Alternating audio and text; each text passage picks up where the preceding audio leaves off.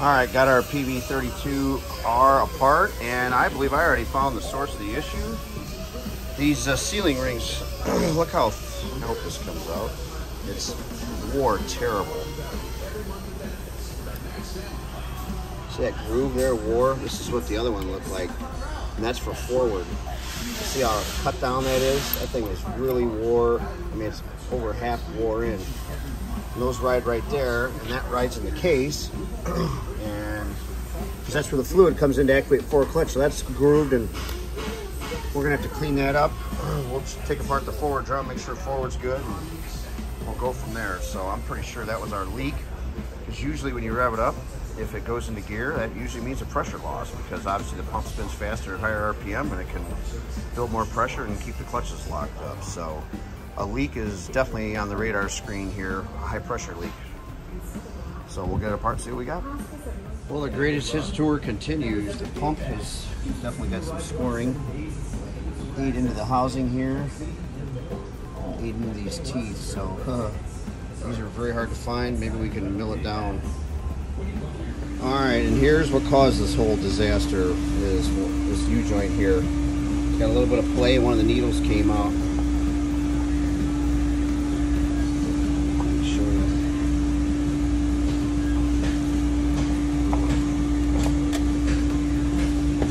You can I'm sure when I get it apart it'll be obvious. But there's just a little bit of back and forth.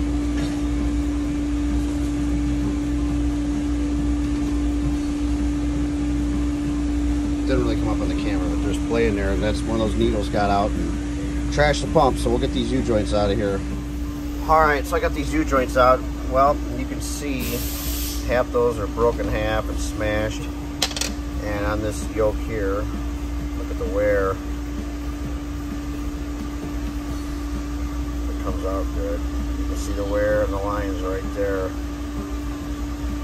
So that's what caused this mess. That U-joint failed a couple of those little itty bitty things broke in half and ended up in the pump and trashed it. So, but we're gonna fix it up.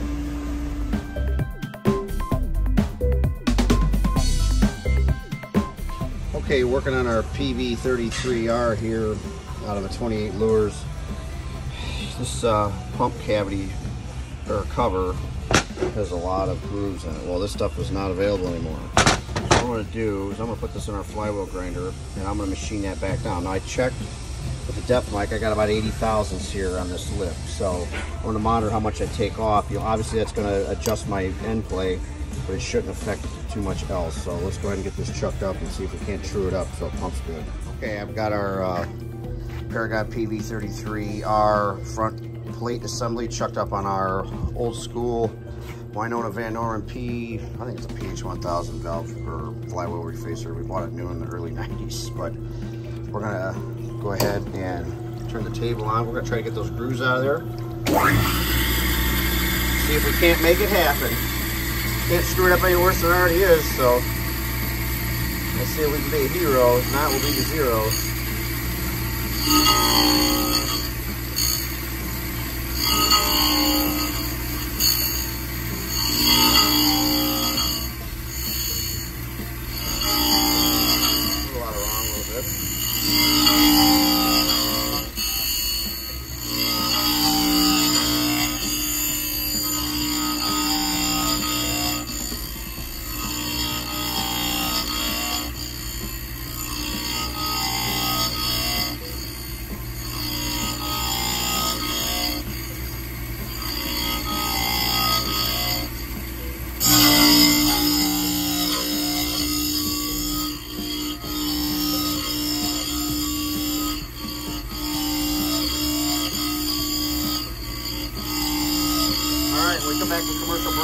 how this looks. All right. I think I'm done grinding here.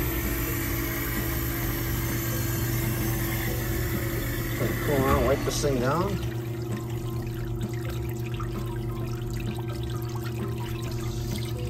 Oh, not too bad. Just that little groove bed. That's not gonna hurt anything. At least I got a nice flat surface now. See that pump can ride against. So I don't think we get hurted any. We'll uh, we'll check see how much we took off here, and we'll make sure our end plays right. But Looks like it just started to hit the bearing, so but we're gonna change that bearing anyway.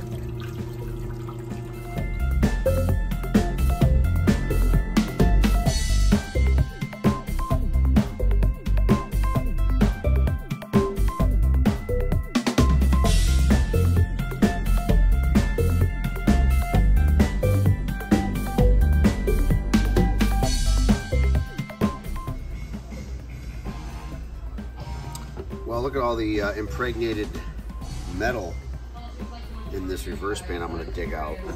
So, band's good, but we don't want any of that metal getting caught up in that pump. All right, going through the control block on our Paragon, and this is the lube feed to the V-Drive. Look how packed full of junk that filter is. So you know that V-Drive wasn't getting a whole lot of help. So we'll clean all that up and put it back together. Okay, I'm getting ready to build my pump here for my PV32R. And I've got my pump face all machined from where it was junk. So, and I've got, I sourced two new gears. Now, what we need to do here is we're looking for about one and a half, two thousandths clearance between this plate and these two gears. So I'm gonna use Plastigage to verify. And I use my depth mic and I checked and it looks like I got about two thousandths just with a depth mic. So if I zero it to here, then drop it over to here, I've got about two thousandths. But like I say, we're gonna Plastigage this and uh, go from there. If not, then I gotta machine this face down to get my clearance tighter. So too tight is bad, but too loose is low pressure. So on a rotor style pump. So let's go ahead and Plastigage this and see what we got.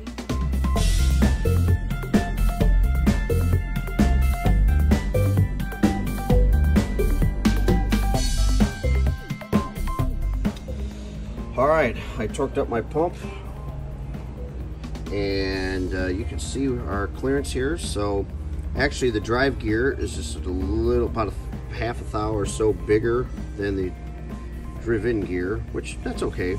That, that's not a big deal. And we're, uh, I'd say we're what, one and a half on the uh, drive gear, and I'm gonna say you're two on the on the driven gear there. And that's fine. And I do it over here.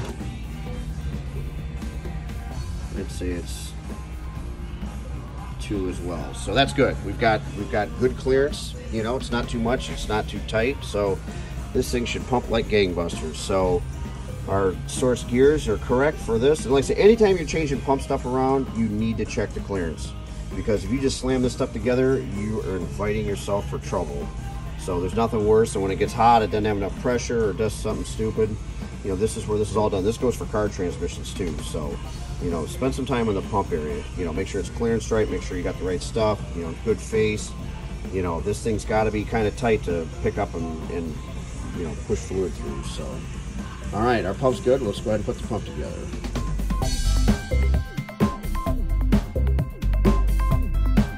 All right, getting ready to put the pump on our Paragon, and this is an indexable pump similar to a Velvet Drive. You know, it tells you, you know, up for left rotation or up, that's up for right hand rotation. Well, I know this is right hand rotation because it's a PV32R, which means right hand rotation on the tag. Okay, but if you're not sure, I always mark them. See, I, I put some center punch marks here. See, somebody else been in here, did three. I just did this one. So I know when I line those up, that's where I'm at. But this gasket, this gasket looks like it can go out a bunch of different ways. Well, there's only two holes here that matter. This is the intake, okay, and this is the uh, return uh, line here to the case. So on the pump, you see there's four choices here. These two line up or these two. Well, that's what you do is you spin this whole operation around. So if I mix this up and we put this on the wrong rotation engine, you'll have three neutrals. You won't have any pump pressures. So that's what I say. That's only two of these are used at one time, depending on the indexing of the pump. So just a tip. All right, so I've got the base transmission together. You can see my marks. You can see the three from a previous, and then that's mine. So this is for right hand rotation. It says up for right hand. So it turns. And we got the pump engaged. So that's good. So now we're off to the V drive portion. All right, working on my Paragon PV32R and getting ready to put the U-joints in. Well, here's another tip. See these U-joints have seals on them? Well, being as this transmission is running transmission fluid, we take these seals out because we want transmission fluid to get in. So the seals come out. I will put a pump or two of grease in, but transmission fluid will keep this uh, rolling. So, and these are the uh, 5-3228Xs, uh, which are Chrysler joints. That's what these take.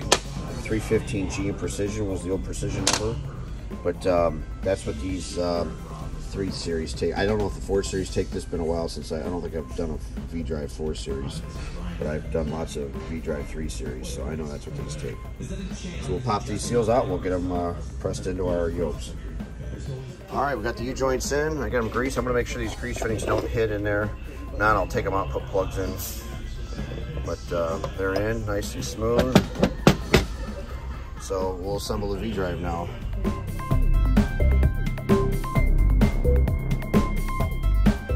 All right, I've got the uh, Permatex anaerobic sealer I use here. Part number, what, 57, 51813. So I just dab it around. I use my finger, I dab it, make sure all the corners are covered. And we'll put the halves together. All right, we got our V-drive all together. Feels pretty good. Those grease fittings aren't hitting anything. Got just the right amount of preload and backlash in it. So next thing is these uh, this needle bearing and race. Needle bearing goes down, faces some jelly on her there. Bearing first. Washer next.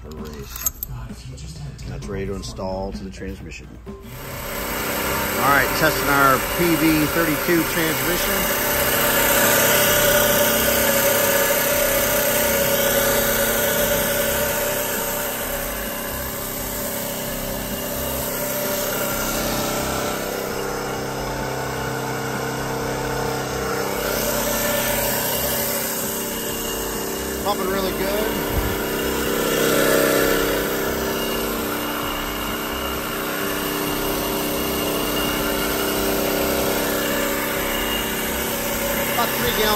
There's no way to test pressure. There's no pressure test for it, but our pump's doing pretty good. We're flowing three gallon a minute.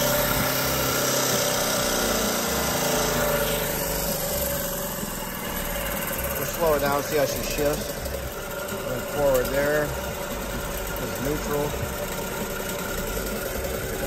Put on rewind. Neutral.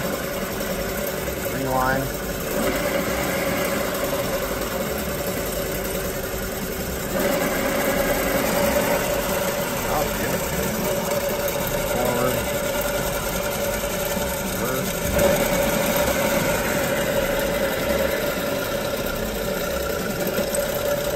pretty good. We'll run her up for about another hour, make sure she looks good, no leaks, and ship it.